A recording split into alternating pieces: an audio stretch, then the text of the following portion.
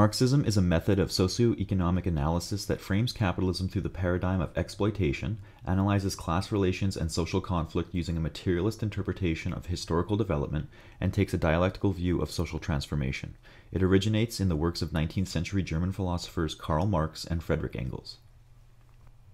Marxism uses a methodology known as historical materialism to analyze and critique the development of capitalism and the role of class struggles in systemic economic change. According to Marxian theory, class conflict arises in capitalist societies due to contradictions between the material interests of the oppressed proletariat, a class wage of laborers employed by the bourgeoisie to produce goods and services, and the bourgeoisie, the ruling class who own the means of production and extract their wealth through appropriation of the surplus product, profit, produced by the proletariat. This class struggle, that is commonly expressed as a revolt of society's productive forces against its relations of production, results in a period of short term crises as the bourgeoisie struggle to manage the intensifying alienation of labor experienced by the proletariat, albeit with varying degrees of class consciousness. This crisis culminates in a proletarian revolution and eventually leads to the establishment of socialism, a socio-economic system based on social ownership of the means of production, distribution based on one's contribution, and production organized directly for use. As the productive forces continued to advance, Marx hypothesized that socialism would ultimately transform into a communist society, a classless, stateless, humane society based on common ownership and the underlying principle from each according to his ability to each according to his needs. Marxism has developed into many different branches and schools of thought, though now there is no single definitive Marxist theory. Different Marxian schools place a greater emphasis on certain aspects of classical Marxism while rejecting or modifying other aspects.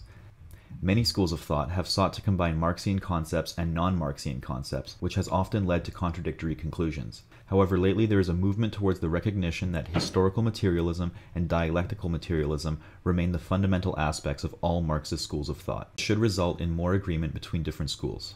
Marxism has had a Marxism has had a profound and influential impact on global academia and has enjoyed expansion into many fields such as archaeology, anthropology, media studies, political science, theater, history, sociology, art history and theory, cultural studies, education, economics, ethics, criminology, geography, literary criticism, aesthetics, film theory, critical psychology, and philosophy. The term Marxism was popularized by Karl Kautsky, who considered himself an orthodox Marxist during the dispute between the orthodox and revisionist followers of Marx. Kautsky's revisionist rival Edward Bernstein also later adopted use of the term. Engels did not support the use of the term Marxism to describe either Marx or his views. Engels claimed that the term was being abusively used as a rhetorical qualifier by those attempting to cast themselves as real followers of Marx, while casting others in different terms, such as Lassalleans. In 1882, Engels claimed that Marx had criticized self proclaimed Marxist Paul Lafargue by saying that if Lafargue's views were considered Marxist, then one thing is certain that I am not a Marxist. Marxism analyzes the material conditions and the economic activities required to fulfill human material needs to explain social phenomena within any given society. It is assumed that the form of economic organization or mode of production influences all other social phenomena, including social relations, political institutions, legal systems, cultural systems, aesthetics, and ideologies. The economic system and these social relations form a base and superstructure. As forces of production, i.e., technology, improve, existing forms of social organization become obsolete and hinder further progress.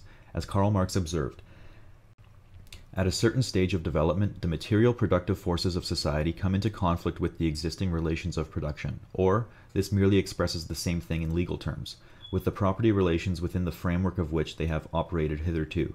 From forms of development of the productive forces, these relations turn into their fetters. Then begins an era of social revolution. These inefficiencies manifest themselves as social contradictions in society in the form of class struggle. Under the capitalist mode of production, this struggle materializes between the minority, the bourgeoisie, who own the means of production, and the vast majority of the population, the proletariat, who produce goods and services. Starting with the conjunctural premise that social change occurs because of the struggle between different classes within society who are under contradiction against each other, a Marxist would conclude that capitalism exploits and oppresses the proletariat. Therefore, capitalism will inevitably lead to a proletarian revolution. Marxian economics and its proponents view capitalism as economically unsustainable and incapable of improving the living standards of the population due to its need to compensate for falling rates of profit by cutting employees' wages, social benefits, and pursuing military aggression. The socialist system would succeed capitalism as humanity's mode of production through workers' revolution. According to a Marxian crisis theory, socialism is not an inevitability, but an economic necessity.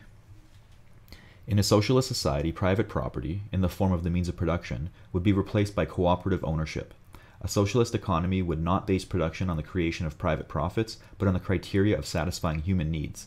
That is, production would be carried out directly for use. As Frederick Engels said, then the capitalist mode of appropriation, in which the product enslaves first the producer and then the appropriator, is replaced by the mode of appropriation of the product that is based upon the nature of modern means of production, upon the one hand, direct social appropriation as a means to the maintenance and extension of production on the other direct individual appropriation as a means of subsistence and enjoyment. Society does not consist of individuals, but expresses the sum of interrelations, the relations in which these individuals stand. The materialist theory of history analyzes the underlying causes of societal development and change from the perspective of the collective ways that humans make their living. All constituent features of a society, social classes, political pyramid, ideologies, are assumed to stem from economic activity, an idea often portrayed with the metaphor of the base and superstructure. The base and superstructure metaphor describes the totality of social relations by which humans produce and reproduce their social existence.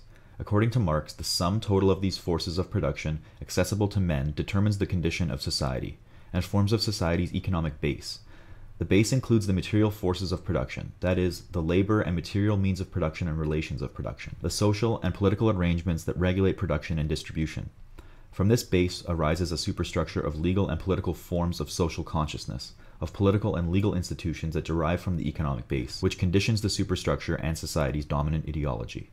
Conflicts between the development of material productive forces and the relations of production provoke social revolution and thus the resultant change to the economic base will lead to the transformation of the superstructure. This relationship is reflexive. At first, the base gives rise to the superstructure and remains the foundation of a form of social organization. Hence, that formed social organization can act upon both parts of the base and superstructure so that the relationship is not static but dialectic, expressed and driven by conflicts and contradictions. As Marx clarified, the history of all hitherto existing society is the history of class struggles, freeman and slave, patrician and plebeian, lord and serf, guildmaster and journeyman, in a word, oppressor and oppressed, stood in constant opposition to one another, carried on uninterrupted, now hidden, now open fight, a fight each time ended, either in a revolutionary reconstitution of society at large, or in the common ruin of the contending classes. Marx considered class conflict as the driving force of human history, since these recurring conflicts have manifested themselves as direct transitional stages of development in Western Europe. Accordingly, Marx designated human history as encompassing four stages of development in relations of production. 1. Primitive communism, as in cooperative tribal societies. 2. Slave societies, a development of tribal to city state, aristocracy is born. 3. Feudalism. Aristocrats are the ruling class, merchants evolve into capitalists. 4. Capitalism. Capitalists are the ruling class who create and employ the proletariat.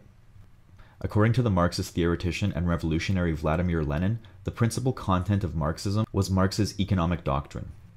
Marx believed that the capitalist bourgeois and their economists were promoting what he saw as the lie that the interests of the capitalist and the worker are one and the same, Therefore, he believed that they did this by purporting the concept that the fastest possible growth of productive capital was best not only for the wealthy capitalists, but also for the workers, because it provided them with employment. Exploitation is a matter of surplus value, the amount of labor one performs beyond one what receives in goods. Exploitation has been a socio-economic feature of every class society and is one of the principal features distinguishing the social classes. The power of one social class to control the means of production enables its exploitation of the other classes. In capitalism, the labor theory of value is the operative concern. The value of a commodity equals the socially necessary labor time required to produce it. Under that condition, surplus value, being the difference between the value produced and the value received by a laborer, is synonymous with the term surplus value. Thus, capitalist exploitation is realized as deriving surplus value from the worker. In pre capitalist economies, exploitation of the worker was achieved via physical coercion, in the capitalist mode of production, that result is more subtly achieved, and because the worker does not own the means of production, he or she must voluntarily enter into an exploitive work relationship with a capitalist in order to earn the necessities of life. The worker's entry in such employment is voluntary in that he or she chooses which capitalist to work for. However, the worker must work or starve. Thus, exploitation is inevitable, and the voluntary nature of a worker participating in a capitalist society is illusory. Alienation is the estrangement of people from their humanity, which is a systematic result of capitalism. Under capitalism, the fruits of production belong to employers, who expropriate the surplus created by others and so generate alienated laborers. In Marx's view, alienation is an objective characterization of the worker's situation in capitalism. His or her self awareness of this condition is not prerequisite. Marx distinguishes social classes on the basis of two criteria ownership of the means of production and control over the labor power of others. Following this criterion of class based on property relations, Marx identifies the social stratification of the capitalist mode of production with the following social groups proletariat, the class of modern wage laborers who have no means of production of their own, are reduced to selling their labor power in order to live. The capitalist mode of production establishes the conditions enabling the bourgeoisie to exploit the proletariat because the worker's labor generates a surplus value greater than the worker's wages. Bourgeoisie, those who own the means of production and buy labor power from the proletariat, thus exploiting the proletariat. They subdivide as bourgeoisie and the petite bourgeoisie. The petite bourgeoisie are those who work and can afford to buy little labor power, small business owners, peasant landlords, trade workers. Marxism predicts that the continual reinvention of the means of production eventually would destroy the petite bourgeoisie, degrading them from middle class to proletariat. Lumpen proletariat, the outcasts of society, such as criminals, vagabonds, beggars, or prostitutes, without any political or class consciousness, having no interest in international or national economic affairs. Marx claimed that this specific subdivision of the proletariat would play no part in the eventual social revolution. Landlords, a historically important social class who retained some wealth and power peasantry and farmers, a scattered class incapable of organizing an effective socio-economic change, most of whom would enter the proletariat while some would become landlords. Class consciousness denotes the awareness, of itself and the social world, that a social class possesses and has the capacity to rationally act in their best interest. Hence, class consciousness is required before they can effect a successful revolution and thus the dictatorship of the proletariat. Without defining ideology, Marx used the term to describe the production of images of social reality. According to Engels, ideology is a process accomplished by the so called thinker consciously. It is true, but with a false consciousness. The real motive forces impelling him remain unknown to him, otherwise, it simply would not be an ideological process. Hence, he imagines false or seeming motive forces. Because the ruling class controls society's means of production, the superstructure of society, the ruling ideas, are determined by the best interests of the ruling class. In the German ideology, the ideas of the ruling class are in every epoch the ruling ideas. The class which is in the ruling material force of society is at the same time its ruling intellectual force. The term political economy initially referred to the study of material conditions of economic production in the capitalist system. In Marxism, political economy is the study of the means of production, specifically capital, and how it manifests as economic activity. This new way of thinking was invented because socialists believed that common ownership of the means of production, that is, the industries, the land, the wealth of nature, the trade apparatus, the wealth of society, etc., and by implementing a commonly owned, democratically controlled workplace, create the society of communism, which Marxists see as a true democracy. An economy based on cooperation on human need and social betterment rather than competition on profit of many independently acting profit seekers would also be the end of class society which Marx saw as a fundamental division of all hitherto existing history. Marx saw work, the effort by humans to transform their environment for their needs, as a fundamental feature of humankind. Capitalism, in which the product of the worker's labor is taken from them and sold at market rather than being part of the worker's life, is therefore alienating to the worker. Additionally, the worker is compelled by various means, some nicer than others, to work harder, faster, and for longer hours, while this is happening, the employer is constantly trying to save on labor costs, pay the worker less, figure out how to use cheaper equipment, etc. This allows the employer to extract the largest amount of work, and therefore potential wealth, from their workers. The fundamental nature of capitalist society is no different from that of a slave society, one small group of society exploiting the larger group. Through common ownership of the means of production, the profit motive is eliminated and the motive for furthering human flourishing is introduced, because the surplus produced by the workers is property of the society as a whole, and there are no classes of producers and appropriators. Additionally, the state, which has its origins in the bands of retainers hired by the first ruling classes to protect their economic privilege, will disappear as its conditions of existence have disappeared. According to orthodox Marxist theory, the overthrow of capitalism by a socialist revolution in contemporary society is inevitable. While the inevitability of an eventual socialist revolution is a controversial debate among many different Marxist schools of thought, all Marxists believe socialism is a necessity, if not inevitable. Marxists believe that a socialist society will be far better for the majority of the populace than its capitalist counterpart. Prior to the Russian Revolution of 1917, Lenin wrote, The socialization of production is bound to lead to the conversion of the means of production into the property of society. This conversion will directly result in an immense increase in productivity of labor, a reduction of working hours, and the replacement of the remnants, the ruins of small scale, primitive, disunited production, by collective and improved labor. The failure of the 1905 revolution and the failure of socialist movements to resist the outbreak of World War I led to a renewed theoretical effort and valuable contributions from, from Lenin and Rosa Luxemburg towards an appreciation of Marx's crisis theory and efforts to formulate a theory of imperialism. The term classical Marxism denotes the collection of socio-economic political theories expounded by Karl Marx and Frederick Engels. Marxism, as Ernest Mandel remarked, is always open, always critical, always self-critical. As such, classical Marxism distinguishes between Marxism as broadly perceived and what Marx believed. Thus, in 1883, Marx wrote to the French laborer leader Jules Guesde and to Marx's son-in-law Paul Lafargue, both of whom claimed to represent Marxist principles, accusing them of revolutionary phrase-mongering and denying the value of reformist struggle. From Marx's letter derives the paraphrase, If that is Marxism, then I am not a Marxist. American Marxist scholar Hal Draper responded to this comment by saying, there are few thinkers in modern history whose thought has been so badly misrepresented, by Marxists and anti Marxists alike. On the one hand, the book Communism, The Great Misunderstanding, argues that the source of such misrepresentations lies in ignoring the philosophy of Marxism, which is dialectical materialism. In large, this was due to the fact that the German ideology, in which Marx and Engels developed this philosophy, did not find a publisher for almost 100 years. Marxism has been adopted by a large number of academics and other scholars working in various disciplines.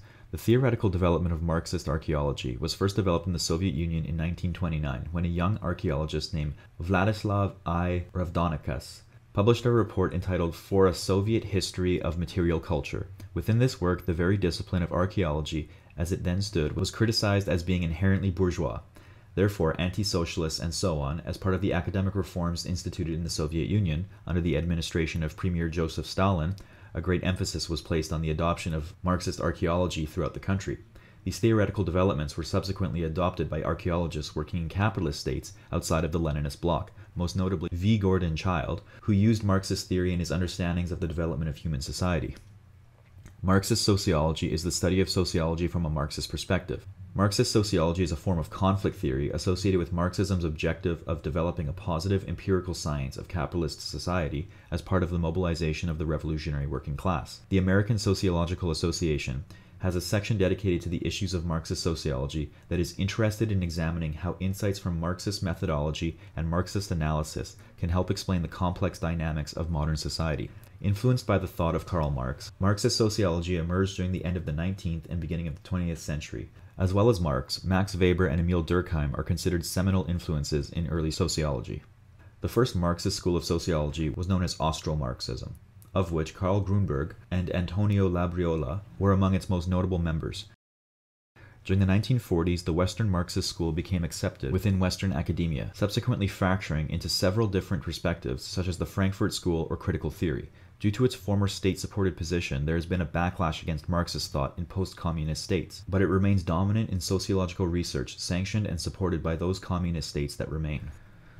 Marxian economics refers to a school of economic thought tracing its foundations to the critique of classical political economy. First expounded upon by Karl Marx and Frederick Engels, Marxian economics concerns itself variously with the analysis of crises in capitalism, the role and distribution of the surplus product and surplus value in various types of economic systems, the nature and origin of economic value, the impact of class and class struggle on economic and political processes, and the process of economic evolution. Although the Marxian school is considered heterodox, ideas have come out of Marxian economics and contributed to mainstream understandings of the global economy. Certain concepts of Marxian economics, especially related to capital accumulation and the business cycle, such as creative destruction, have been fitted for use in capitalist systems. Marxist historiography is a school of historiography influenced by Marxism. The chief tenets of Marxist historiography are the centrality of social class and economic constraints. The chief tenets of Marxist historiography are the centrality of social class and economic constraints in determining historical outcomes. Marxist historiography has made contributions to the history of the working class, oppressed nationalities, and the methodology of history from below. Frederick Engels' most important historical contribution was The German Peasants' War, which analyzed social welfare in early Protestant Germany in terms of emerging capitalist crises. The German Peasants' War indicate a Marxist interest in history from below and class analysis, and attempts a dialectical analysis. Engels' short treatise, The Condition of the Working Class in England in 1844, was salient in creating the socialist impetus in British politics. Marx's most important works on social and political theory include the 18th Brumaire of Louis Bonaparte, the Communist Manifesto, the German Ideology, and those chapters of Das Kapital dealing with the historical emergence of capitalists and proletarians from pre-industrial English society. Marxist historiography suffered in the Soviet Union as the government requested overdetermined historical writing. Notable histories include the short course history of the Communist Party of the Soviet Union, published in the 1930s, which was written in order to justify the nature of Bolshevik party life under Joseph Stalin. A circle of historians inside the Communist Party of Great Britain formed in 1946. While some members of the group, most notably Christopher Hill and E.P. Thompson, left the CPGB after the 1956 Hungarian Revolution, the common points of British Marxist historiography continued in their works. Thompson's The Making of the English Working Class is one of the works most commonly associated with the group. Eric Hobsbawm's Bandits is another example of this group's work. C.L.R. James was also a great pioneer of the history from below approach. Living in Britain when he wrote his most notable work, The Black Jacobins, he was an anti-Stalinist Marxist, and so outside of the CPGB. In India, B.N. Datta and D.D. Kosambi are considered the founding fathers of Marxist historiography. Today, the senior most scholars of Marxist historiography are R.H. Sharma, Irfan Habib, Romila Thapar, D.N. Jha, and K.N. Panikkar, most of whom are now over 75 years old. Marxist literary criticism is a loose term describing literary criticism based on socialist and dialectical theories. Marxist criticism views literary works as reflections of the social institutions from which they originate. According to Marxists, even literature itself is a social institution and has a specific ideological function based on the background and ideology of the author. Notable Marxist literary critics include Mikhail Bakhtin, Walter Benjamin, Terry Eagleton, and Fredric Jameson. Marxist aesthetics is a theory of aesthetics based on, derived from, the theories of Karl Marx. It involves a dialectical and materialist or dialectical materialist approach to the application of Marxism to cultural spheres, specifically areas related to taste such as art, beauty, etc.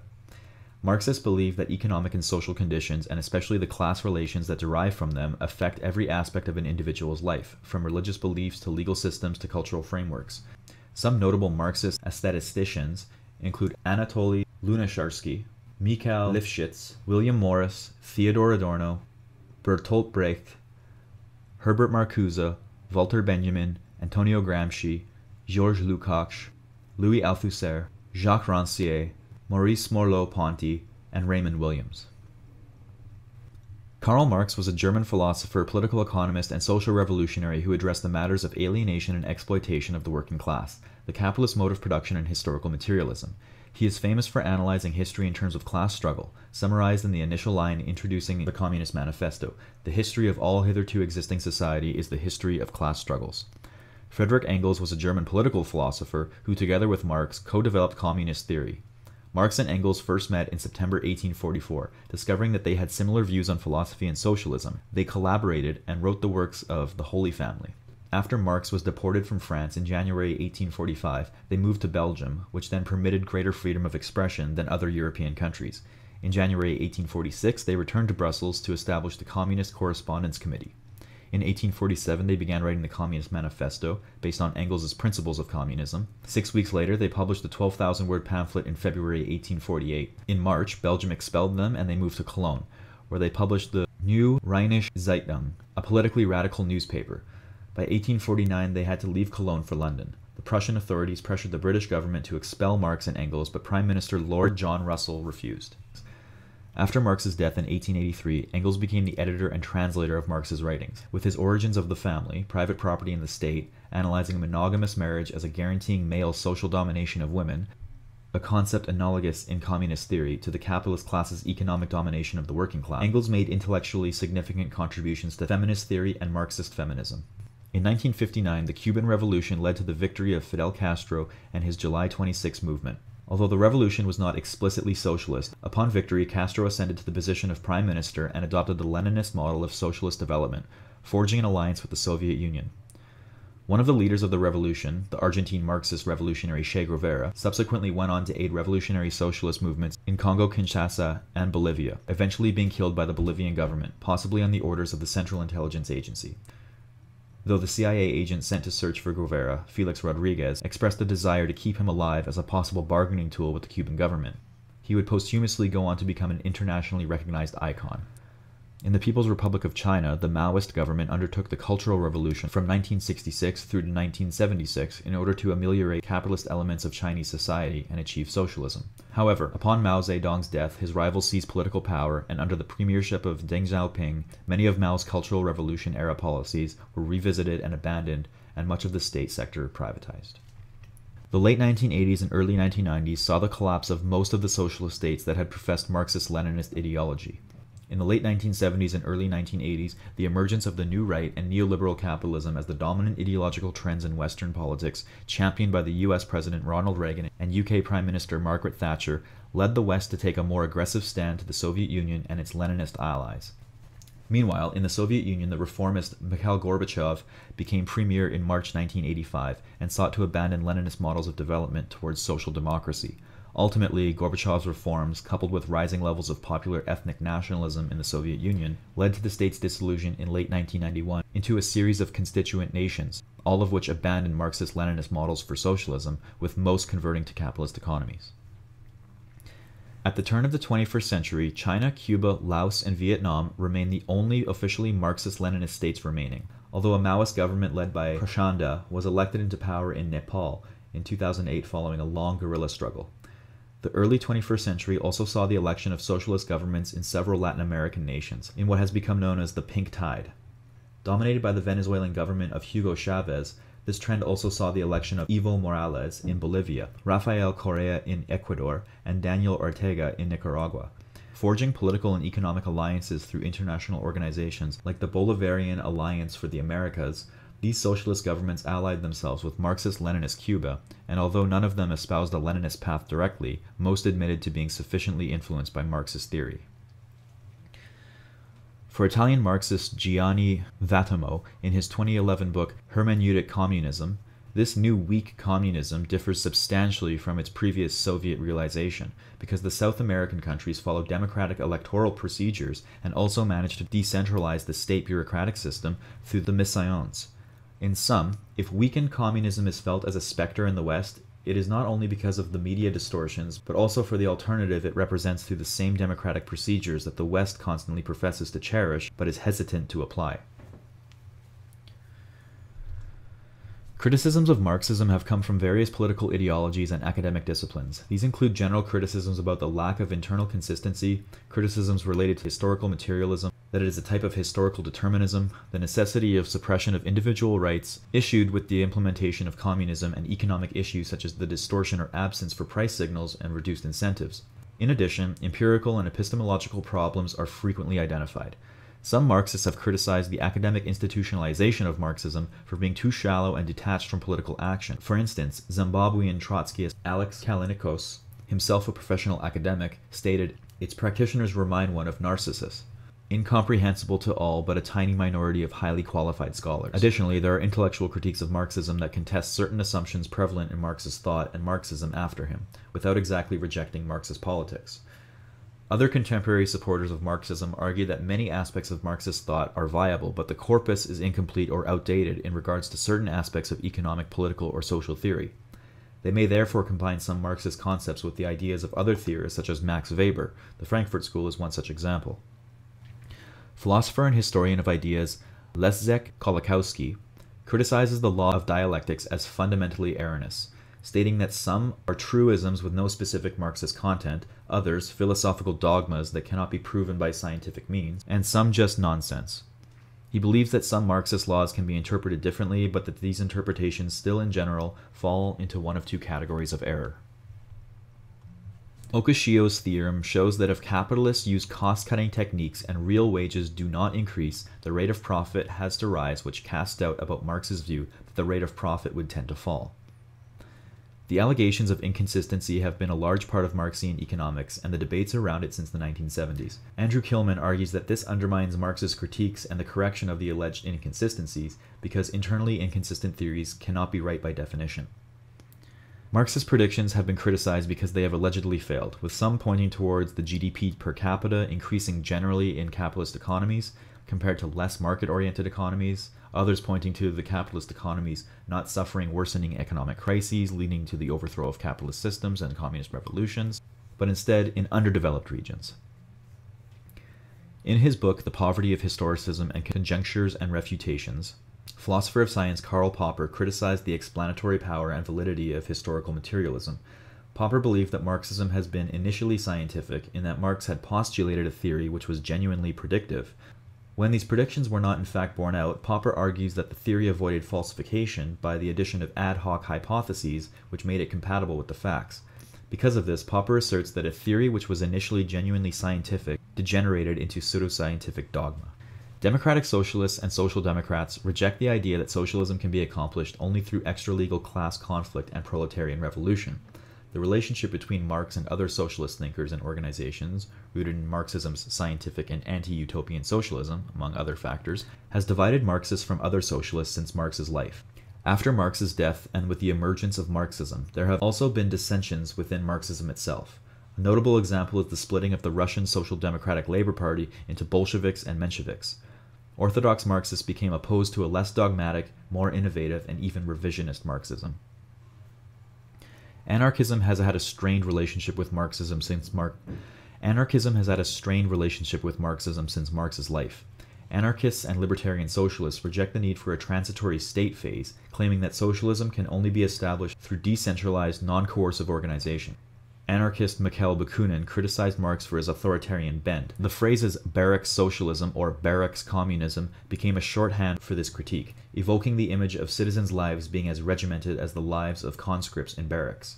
Noam Chomsky is critical of Marxism's dogmatic strains and the idea of Marxism itself, but still appreciates Marx's contributions to political thought, Unlike some anarchists, Chomsky does not consider Bolshevism Marxism in practice, but he doesn't recognize that Marx was a complicated figure who had conflicting ideas. While he acknowledges the latent authoritarianism in Marx, he also points to the libertarian strain which developed into the council communism of Rosa Luxemburg and Anton Pannekoek.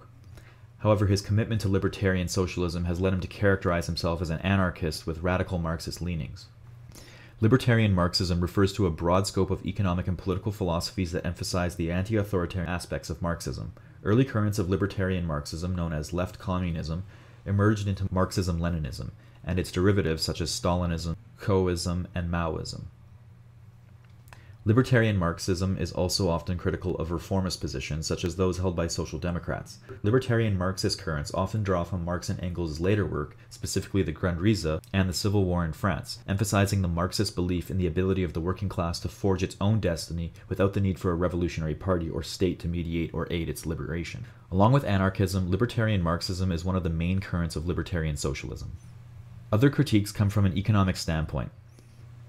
Vladimir Karpovich Dmitriev, writing in 1898, Ladislaus von Bortkiewicz, writing in 1906 and 1907, and subsequent critics have alleged that Marx's value theory and law of the tendency of the rate of profit to fall are internally inconsistent. In other words, the critics allege that Marx drew conclusions that actually do not follow from his theoretical premise. Once these alleged errors are corrected, his conclusion that aggregate price and profit are determined by and equal to aggregate value and surplus value no longer holds true.